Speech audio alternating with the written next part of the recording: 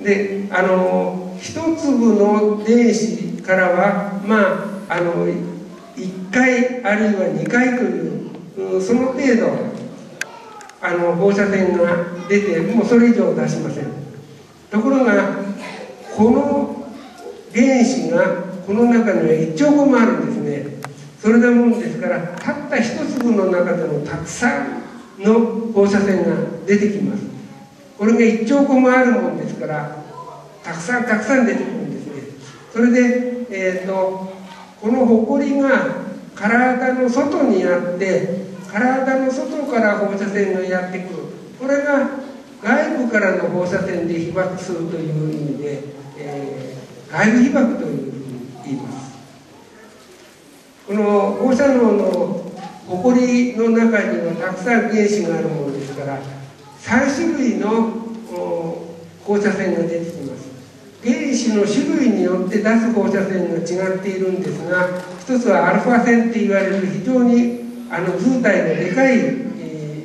ものですね。それからベータ線これは電子が非常に高速で放り出されます。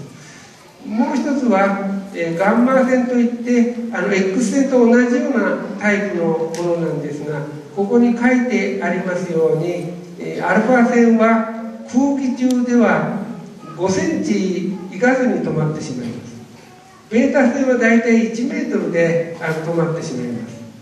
ところがあのガンマ線っていうのは70メートルも100メートルも飛んでいくんですね。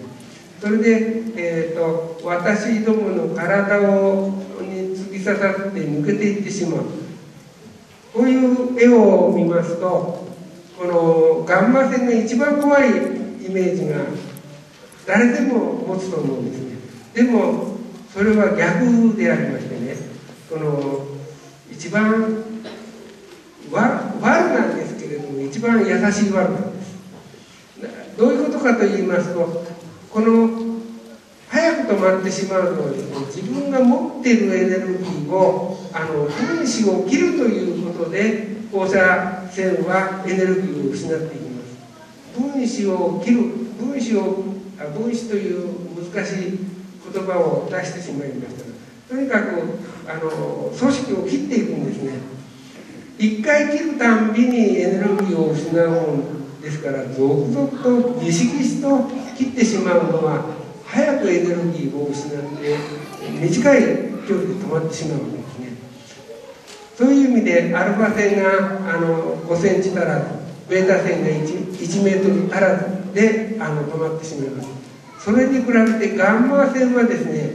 ここに書いてあるように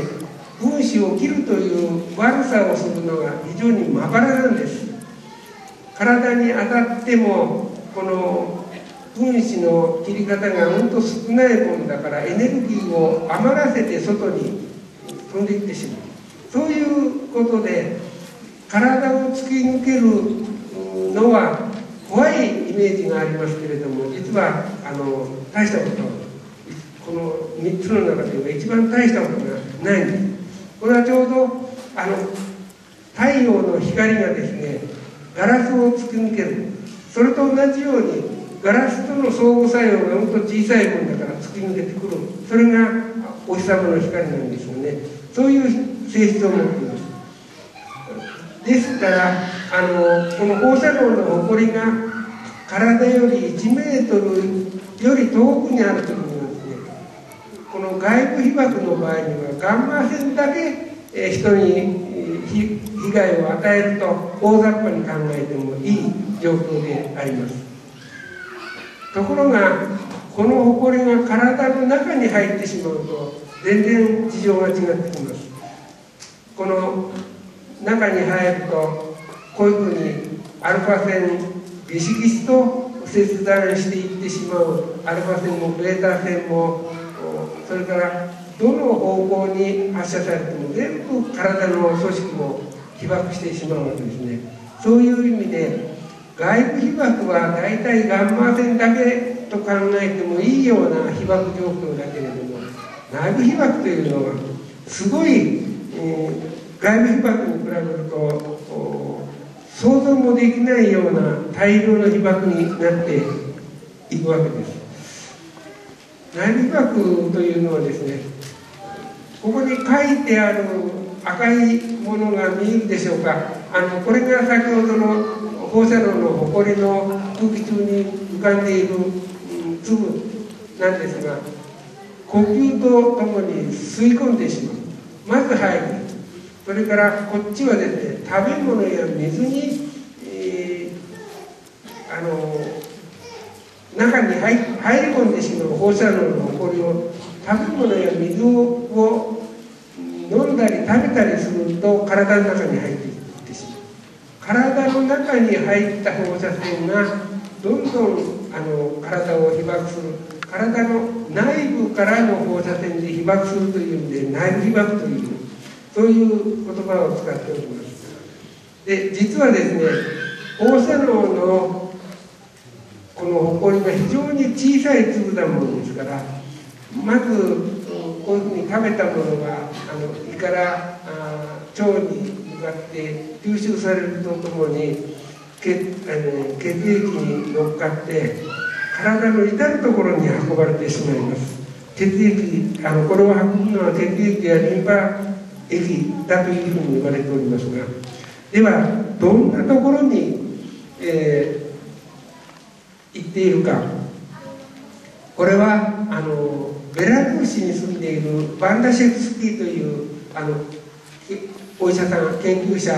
のデータなんですけれども体の心臓の筋肉脳肝臓甲状腺腎臓脾臓筋肉小腸こういったところのあのセシウム137がどれだけ、えー、蓄積されているかというそういう解剖記録をあのグラフにしたものなんですね。あらゆるところにます。この赤い方が子供で青い方が大人なんですけれどもどこの臓器部分取ってみてもね子供の方がすごく吸収率がいいんですね。それで、えー、例えば甲状腺これが一番たくさん蓄積されております。それで、えーと、甲状腺そのものは要素をこの集めるそういうふうに言われております。活性ホルモンを作るために要素がとても大事だというふうに言われているわけですが要素131などが甲状腺に集まる時にですね一つのこの放射能の埃の塊の中にセシウムもストロンチウムもプルトニウムもいっぱいいろいろな原子が含まれていてそれで、えーと、セシウム137をでこういうグラフを作っているわけなんですけれどもこのよセセシウム137が甲状腺に一番たくさん集まっているということはですねあのセシウム137 7が要素と一緒に、えー、甲状腺に集められてしまっているというような結果です。ですからここれだけ体中のあちこちに行くのが放射能の埃を吸い込んだその結果であるわけですね、えー、ここに書いてあるだけでなくてですね例えば喉とかあの鼻とかあらゆるところに行きます。あらゆるところに行って、えー、放射能の粒になっている。何億何兆というそういう原子が集まっている粒だものですから放射線出し続けるわけです